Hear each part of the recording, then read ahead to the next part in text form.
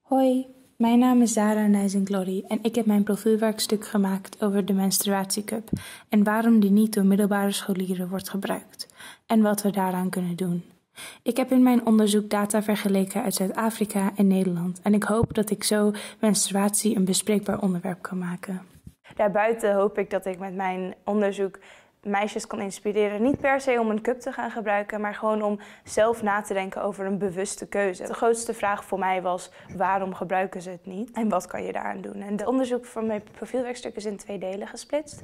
Het eerste deel is een onderzoek naar wat meisjes vinden van de menstruatiecup. En um, dat is in de vorm van een enquête geweest. Gewoon zodat ik een, echt een beeld had van hoe bereid iedereen was om het te gebruiken en hoeveel mensen ervan wisten.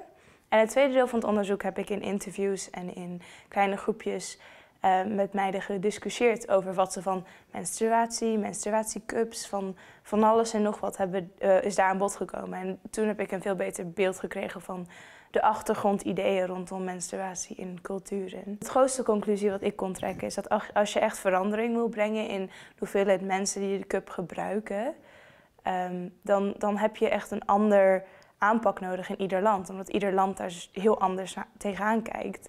In Nederland zijn we net wat opener over menstruatie, in Zuid-Afrika niet.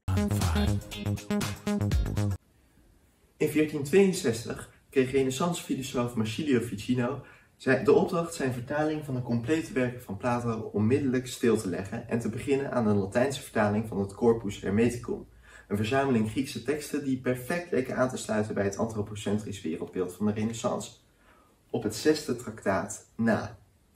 In mijn profielwerkstuk Marsilio Ficino and His Translation of Corpus Hermeticum 6 heb ik onderzocht hoe de vertaler daarmee omgegaan is. Hoe hebben zijn eigen ideeën en de verwachtingen van zijn machtige opdrachtgever Cosimo de Medici zijn vertaling beïnvloed? Daarvoor heb ik de tekst van de Latijnse vertaling naast het Griekse manuscript dat Ficino zelf gebruikte gelegd. Ik heb 83 verschillen gevonden en een aantal van die verschillen filologisch en filosofisch inhoudelijk verklaard. Ficino blijkt door een neoplatoonse bril naar de tekst te kijken.